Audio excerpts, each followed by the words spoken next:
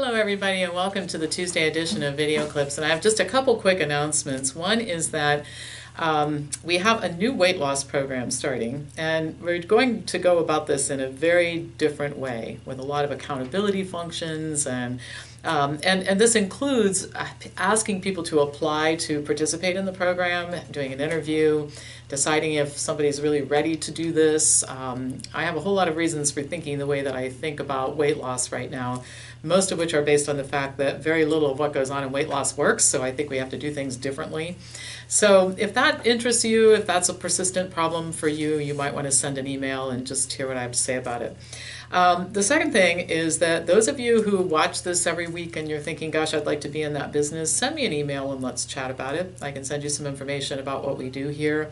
I really have had a lot of time to think about this, and I think that part of what we have to do to fix our healthcare system is just have a lot more people who are literate about health helping other people with health issues. So we do some great, we offer some great training programs here, and if you are interested in talking about that, let me know. All right, so I have a lot of things to talk about this week, both today and Thursday. And the first one is this is a shout out to everybody in New York who cares about health. Um, one of the reasons why healthcare is in such a sorry state is that a few licensed occupations work very hard to protect their turf and title. And in this way, they control the healthcare business. I mean, one of the ways to control healthcare is to control who's allowed to deliver messages about healthcare. So when dietitians and doctors and nurses and um, licensure does serve some purposes, but keeping people who are competent out of business is one of the purposes that it serves. And I've dealt with this personally myself here in Ohio. So if you live in New York and you want to preserve your right to get information from the provider of your choice, or if you are a practitioner, you need to pay attention to this. It's time to get active. Senate Bill 2231 proposes to create a licensure board for dietitians and also to restrict the practices of professionals who are not dietitians.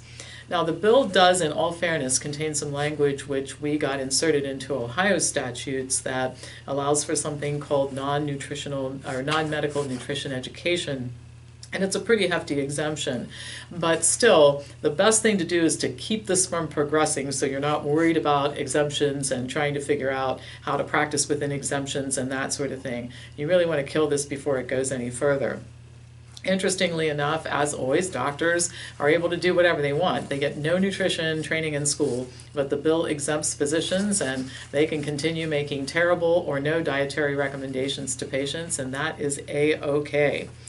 Now, this is not the first time that such a bill has been introduced in New York. The last time I think it was tried was in 2012 and it failed. And um, one of the reasons why it may have a better chance of passing this time is that the both chambers, the House and the Senate, started with identical versions of the bill, so they don't have to fight about which version is going to actually become the law.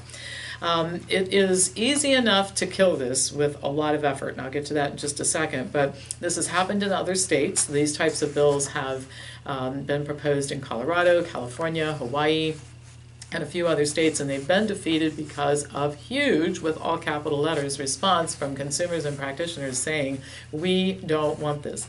And I'll tell you what makes lawmakers very, very worried if they think they won't get elected again. That's what they get worried about. So here's what to do about this. Contact your senator. If you're a New York resident, contact your senator or your representative and your representative. And let these elected officials know that you are opposed to this bill and why.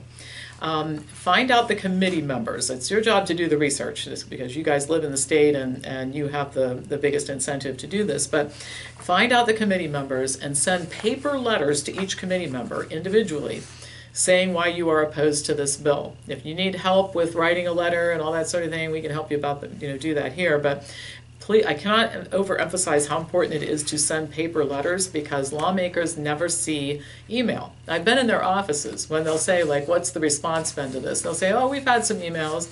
Some emails might be two and some might be 5,000.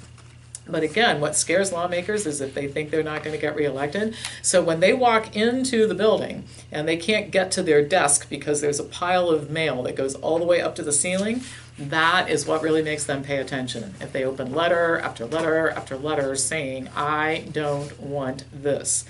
And then tell your friends and get them to write letters too. I mean, this really is about overwhelming the, the number of people who want this type of legislation. You've got, what, 3,000 dietitians in New York who want this? Why don't you guys help mobilize 300,000 New Yorkers who don't? And, they'll, and if you do that, believe me, this bill won't pass. So if citizens do their job, bad laws don't get passed or they can get changed. All right, the next thing, um, you've probably heard that one of the definitions of insanity is that you do the same thing again and again and you hope something different is going to happen. Well, here's an example. In spite of the fact that most people in the United States are fully vaccinated, state health departments have reported 150 mumps outbreaks uh, during the period between January 1st, 2016 and June 30th, 2017. 70% of the people who develop mumps have had two uh, MMR doses. Two, not one, but two.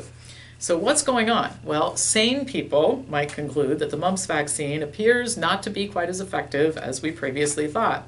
But our health officials and the medical profession today are not sane. These are paid salespeople for the drug companies. So, thus, their solution is to add a third dose of MMR for people at risk of developing mumps due to some type of local outbreak. The basis for this, I mean, when I sit and read this stuff at home, if it weren't so serious, I would just burst out laughing. Three epidemiological studies, only one of which yielded, and it was barely yielded, statistical, statistically significant results. The other two studies showed that one month after vaccination with the third dose, antibody titers dropped to near baseline. One month, all right?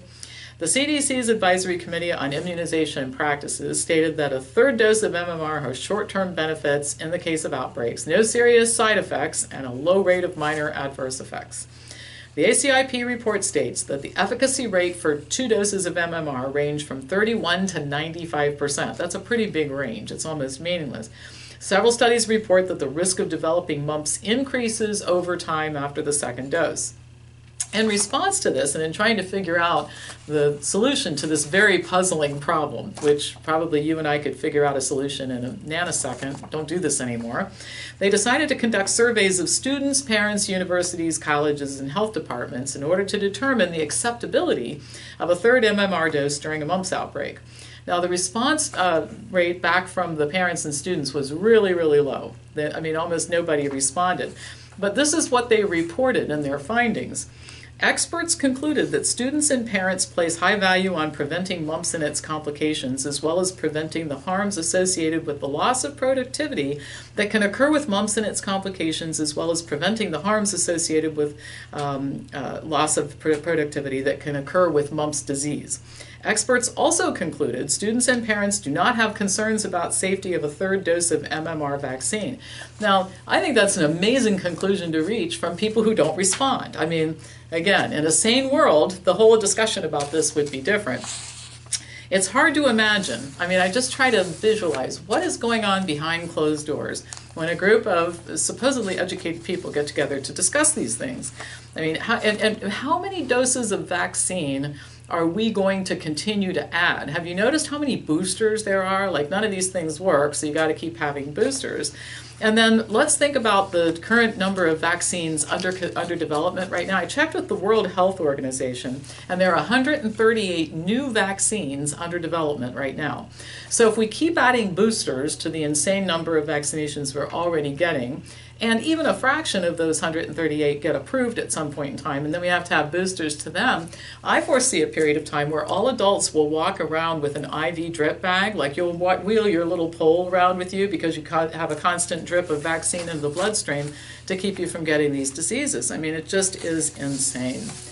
Um, remember that our authorities aren't sane. They don't represent the best interest and you know of us, the American public. They're working for the drug companies, and so they're mindful of drug company interests, not ours. And so I know that this is a difficult issue for those of you who have kids. You're trying to sort this out. And uh, just for the record, I'm not anti vaccine. I did a very long video clip about this at the end of last year, made the article available to anybody who wanted it. And um, I'm not anti vaccine, I'm pro evidence. And we just get overwhelming evidence all the time that this is an exercise in ridiculousness and hurting people, this vaccine schedule we have right now. All right, so after all that, let's finish on a happy note. All right, so medical professionals often blame genetics for health conditions ranging from acne to cancer. However, research really shows genes are important, but not the primary determinant of health. diet and lifestyle habits are. But it's easier to blame genes, and in doing so, you end up doing two things. It absolves people of personal responsibility, and it turns people into helpless victims since nobody gets to choose their genes. I don't know about you, but I didn't get to pick mine.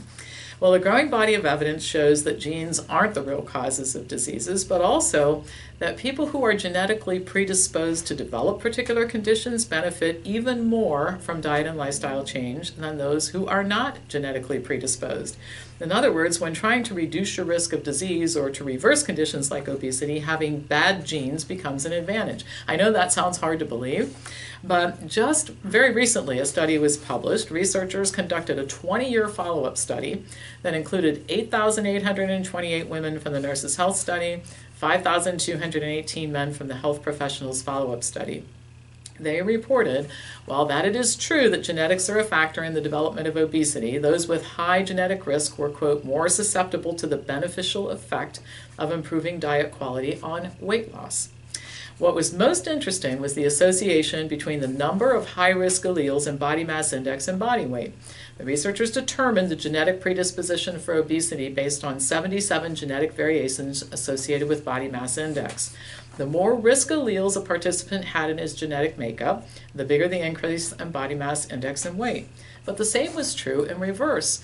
The more alleles that would predispose somebody to become obese, the more and greater the effect was on changed diet in terms of BM, change in BMI and amount of weight loss. So, um, genetic predisposition, the researchers wrote, is no barrier to successful weight management and no excuse for weak health and policy responses. In other words, healthy habits trump genes. All right, that's all for today. As usual, pass this on to anybody who you think would enjoy watching it, and I'll be back to you on Thursday with more news.